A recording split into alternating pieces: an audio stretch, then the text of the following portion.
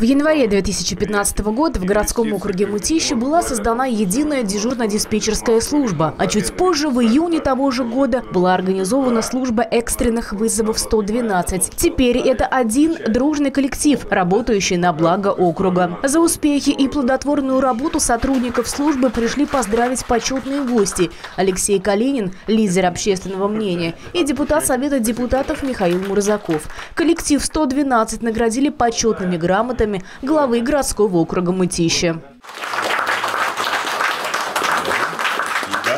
Каждый сотрудник вкладывает в свою работу много физических и душевных сил, ведь проблемы, с которыми обращаются граждане, всегда разные. В минуту беды жители звонят именно им. Павел Блинов работает оперативным дежурным ЕДДС с начала ее основания. Он, как и многие другие, был отмечен за добросовестный труд. Люди звонят со своими проблемами, хочется им помочь, потому что иногда ночью остаются один на один с бедой.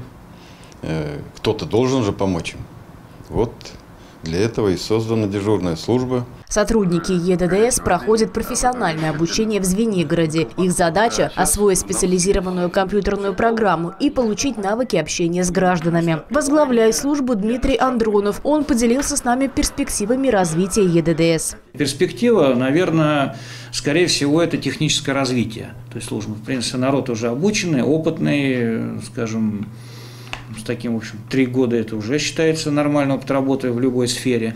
Вот. И что-то изменения ждем, например, э, все э, улучшение геопозиционирования, то есть, опять же, работа программы. То есть, да, то есть еще э, может какая-то перспектива подключения дополнительных служб нашей непосредственной технической части. Если сейчас напрямую по цельной карточке можем отправлять полиция, скорая, пожарная служба газа, может быть, какие-то другие будут. Служба 112 городского округа Мытищик является одной из лучших в московском регионе. Свою работу они выполняют оперативно, понимая, что от них порой зависят судьбы людей. Алла Сталаева, Андрей Капустин. Информационная программа «День».